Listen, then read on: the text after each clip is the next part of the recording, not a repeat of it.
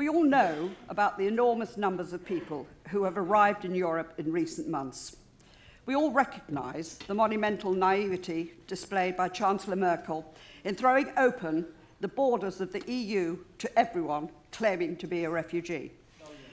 Naivety is too kind a word. Perhaps stupidity would be more accurate.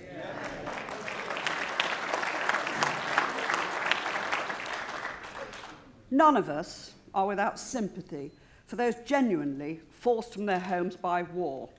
None of us fail to feel pity for the families ripped apart and their lives destroyed.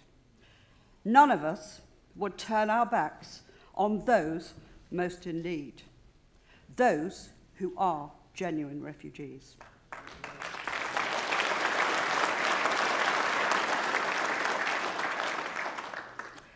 Problem is the definition of who has become a refugee, and the definition is ludicrously broad. Those looking for better work prospects, better education, services, better health, and indeed benefits which actually genu genuine refugees are looking for. But these are not genuine refugees, these are economic migrants. Yet they have been included alongside those who are genuinely and legitimately fleeing their homes in fear of their lives. The Geneva Convention clearly defines who qualifies as a refugee. It states such a person must be unable or unwilling to stay in a country due for fear of persecution. It is how the United Nations defines who qualifies for help. However, the EU's qualification directive goes way beyond this definition to include those who, who, who under no immediate threat of persecution. This essentially throws open uh, the continent to migration from potentially millions of people, almost all of whom are not refugees, according to the United Nations, but are economic migrants. More than a million people have arrived in the EU last year, and at least as many are expected in 2016. Many of those people come from parts of the world with different values to those of Europe, different standards of acceptable behaviour towards women.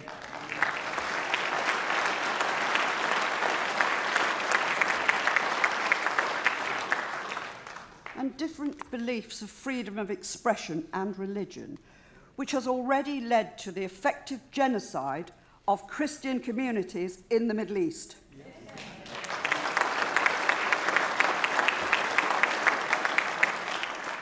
Now, believe it or not, the EU have finally acknowledged this is happening. And they are arriving, these people, in huge, unsustainable numbers. Germany is already facing repercussions of Chancellor Merkel's open invitation to all comers. A mob of more than a thousand men mostly of immigrant backgrounds, gathered in Cologne on New Year's Eve and subjected hundreds of women to atrocious levels of harassment and outright sexual assault.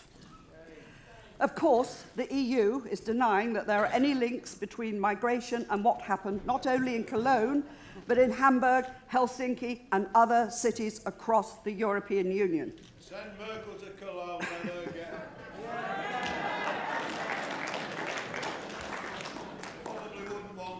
Uh, probably not. Let me ask you this. If it was your mother, your daughter, your friend, would you still deny anything had happened? I would go bananas. This is what happens when you open the door to countries and cultures that treat women as second class citizens.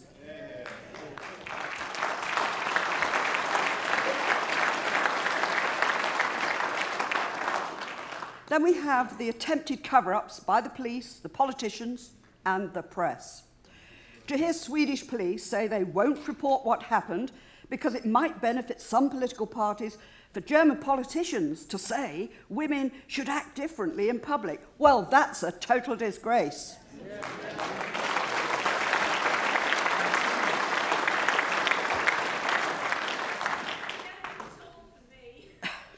The people we vote for and the authorities we expect to protect our safety are cynically turning their backs on ordinary women and men because of political correctness. And what happens when the people who have committed these crimes are given nationality from EU countries? They will have the right to come to Britain without any criminal check backgrounds at all. In 2015, 100,000 illegal migrants were stopped trying to enter the UK. This shows the scale of the problem heading towards Britain. But what happens if we look at the other side of this crisis? More than 10,000 migrant children are missing.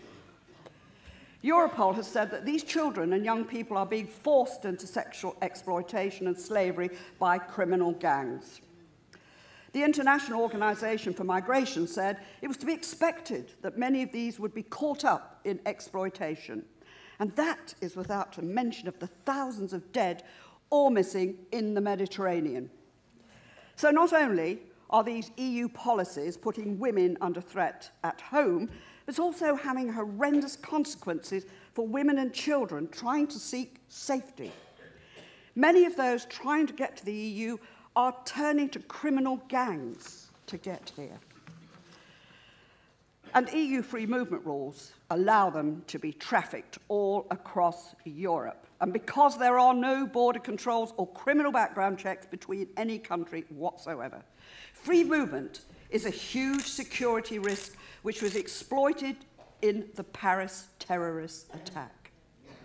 Weapons, criminals, terrorists can move freely around Europe and attack public places, all thanks to the European Union. The EU is putting women at direct risk, and clearly it cannot cope with this crisis.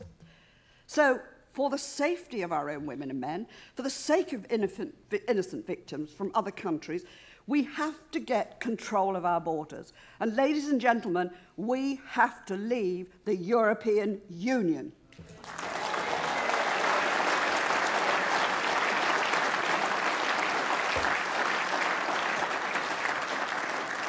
Ladies and gentlemen, we have a short film which we're now about to show you before my colleague Jane takes the podium.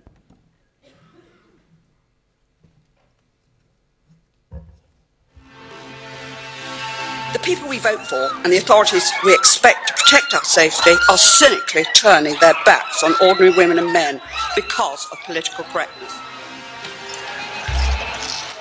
It's okay for MEPs with no responsibility or power to sit here and say that we need an open door to limit the numbers of people. But people in the real world are being hurt.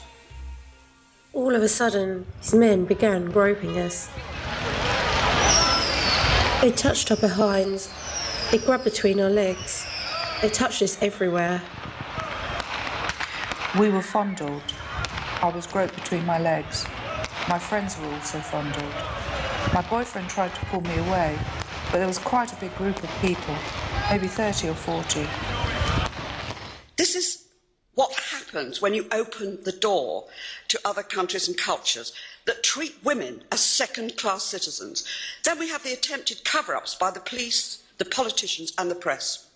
It's even reported that the Commission won't accept that there's any link between the migrant crisis and the sexual assaults in Cologne and elsewhere. In 2015, 100,000 illegal migrants were stopped trying to enter the UK. This shows the scale of the problem heading towards Britain. A recently leaked German security and intelligence report on the migrant crisis warned we are importing a different social and legal understanding. And the political failures to address this problem in the past have now been seen across the north of England. I was a child you know, legally, if you have to be over 16 to consent, then they should keep that in place. And if you're not 16, then do something about it. Some politicians have even said a small minority of migrant men see white girls as fair game or easy meat. Well, I'd just turned 14 and he was 24. He'd just got out of prison and straight away we spent a lot of time together in total for nearly two years, I think it were. And we had a sexual relationship, which, well, I thought he was my boyfriend.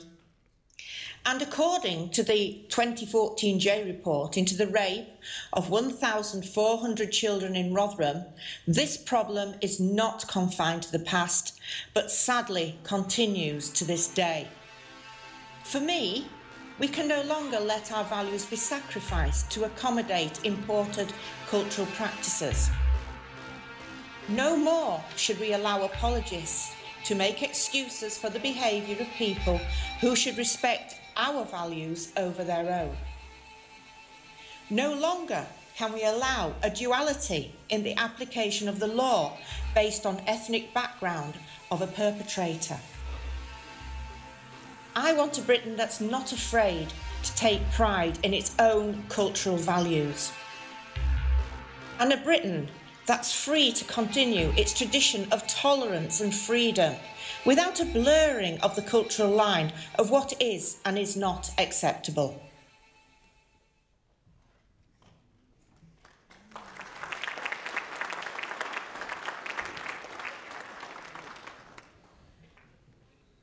Right, thank you, ladies and gentlemen. I'm just so, sorry about the, um, the technical hitch we had there. And that's true. And, and I'm going to use an auto cue, and I'm from Yorkshire, so it might even go further wrong. But uh, we'll have a go. Right, thank you, Margot, um, for your speech. And also, good, good afternoon, everybody here in the conference.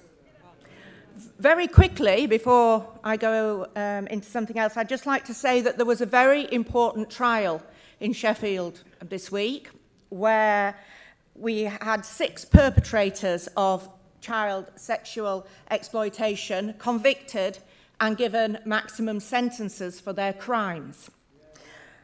But what I'd like to say is the real heroes of that day were the victims. They showed such courage.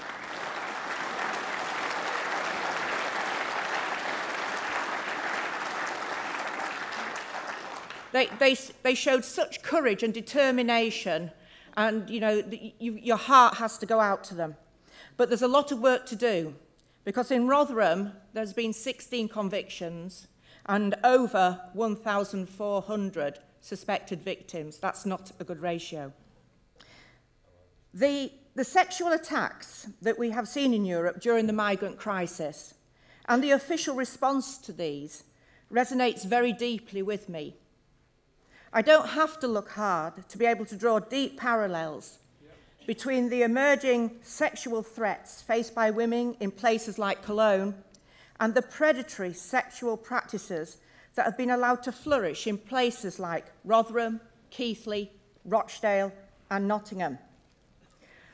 Cultural norms in regards to right and treatment of women is, is very different all over the world. I mean, you only have to look at the Middle East. And I'm now not saying for one minute that our cultural treatment of women is perfect in the Western society. But at least in Western Europe, uh, I won't be whipped for wearing a miniskirt or suffer the horrors of genital mutilation to satisfy my family or my community. At present, I can leave home alone without a male chaperone, drive my own car, buy a drink at a well-known coffee chain, unlike women in Saudi Arabia, who are banned from doing these same simple things. But even as oppressed women across the Middle East and Africa fight tooth and nail for the most basic protection from gender-based equality and violence, we have politicians across Europe opening the doors to thousands of young male migrants many of whom are determined to retain their own cultural practices and attitudes as they migrate. A recently leaked German intelligence report warned, we are importing Islamic extremism, as well as different social and legal understandings. You cannot force democracy down somebody's throat who does not want to start and learn. And it begs the question, how do you instruct a million migrants, mainly young Muslim men, of the social mores of Western society overnight? You can't. You just cannot do it. And this highlights a major problem with mass immigration of imported social mores, attitudes and practices that are totally incompatible with those of the host society. It's an issue that we simply cannot close our eyes to. And just like so many of our political cowards, both in Germany and the UK, who have tried to turn a blind eye and pretend it isn't happening. Nor does the answer lie in restricting normal rights and freedoms, as in some Germany uh, politicians, German politicians have suggested that their advice to women is not to smile in the street. Stay at arm's length away from strange men. The fact is, if we are to retain our own culture and the freedoms we enjoy today, we as women must face head on with these challenges. And it's presented by these darker aspects of migrant culture. No longer can we let our values slip to the point where the innocence of 1,400 children or more in one town can be sacrificed at the altar of political correctness.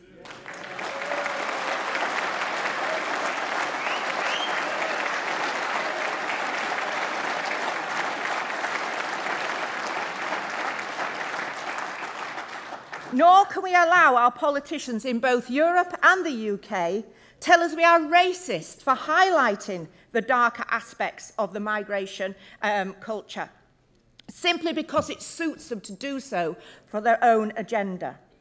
Instead, we must make a stand and say no more. No more should we tolerate men who regard women as their inferior and treat unaccompanied women, as some politicians in this country have said, are fair game or easy meat. I want girls to be able to smile in the street, live their lives freely, wear what they want, without the prospect have to have to fight off sexual predators every time they go into town or get on public transport, as most of the women in here did of my age when we were younger. I want a Britain that not only makes its own laws, but more importantly has one law for all.